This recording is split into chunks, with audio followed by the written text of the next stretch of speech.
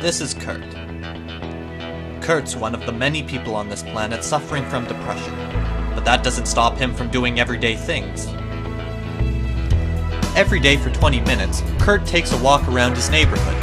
He tries to observe all the beauty the world offers to people every day, but sadly, he cannot see this.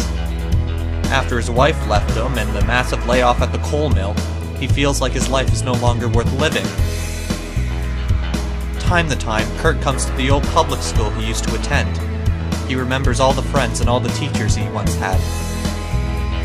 He remembers all the memories he has. So many memories. So. Would you mind? So. So. Sorry.